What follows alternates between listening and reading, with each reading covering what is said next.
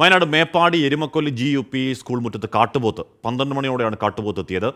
ഏറെ നേരത്തിന് ശേഷം തോട്ടം ഭാഗത്തേക്ക് പോയി. സുർജിത്ത് അയ്യപ്പത്ത്. സുർജിത്ത് അക്രമാസക്തനാവാതെ ശാന്തനായ കാട്ടുപോത്തായിരുന്നു തോന്നുന്നു അല്ലേ? എന്നാലും ആദിയാണ് പേടിയാണ്. അങ്ങനെ തന്നെയാണ്. ആദ്യമാണ് പേടിയാണ്. പക്ഷേ ആ സ്ഥലത്തെ സംബന്ധിച്ച് അതിന്റെ ഒരു ഭൂമിശാസ്ത്രം ചെമ്പറമലയുടെ തൊട്ട് താഴെയുള്ള സ്കൂളാണ്. അതുകൊണ്ട് തന്നെയാണ് ഈ ഇത്തരം വന്യമൃഗങ്ങൾ നിരന്തരമായി വരാറുള്ള ഒരു പ്രദേശം കൂടിയാണ്.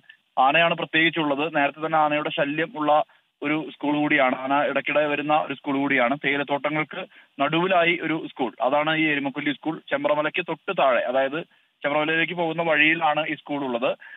അവിടെയാണ് കാട്ടുപോത്തിന്റെ സാന്നിധ്യം ഇന്ന് ഒരു പന്ത്രണ്ട് മണിയോട് കൂടി ഉണ്ടായത്. ഒരു മണിക്കൂറോളം കാട്ടുകൊത്ത് അവിടെ നിലയുറപ്പിച്ച് അവിടെ ചുറ്റി നടന്നു. അതിനുശേഷം അത് തിരിച്ച് സ്വാഭാവികമായും അത് അതിന്റെ വനാന്തർ ഭാഗത്തേക്ക് തോട്ടം വഴി വനാന്തർ ഭാഗത്തേക്ക് പോയിരിക്കുകയാണ്. പക്ഷേ ആളുകൾ കുട്ടികളെ സംബന്ധിച്ച് കുട്ടികളൊക്കെ ഭയപ്പെടുന്ന ഒരു അവസ്ഥയുണ്ട് കാരണം അവർക്ക് ഇത് നിരന്തര ശീലമാണ്. പക്ഷേ എന്നാലും എന്നിരുന്നാൽ പോലും ഇത് അവർക്കൊരു ഭയപ്പാട് ഉണ്ട് എന്നുള്ളതാണ് വ്യക്തമാകുന്നത്. കാശ്മീർ സുർജിത് അയ്യപ്പത്താണ് ആ വാർത്തയുടെ വിവരങ്ങൾ നൽകിയത്.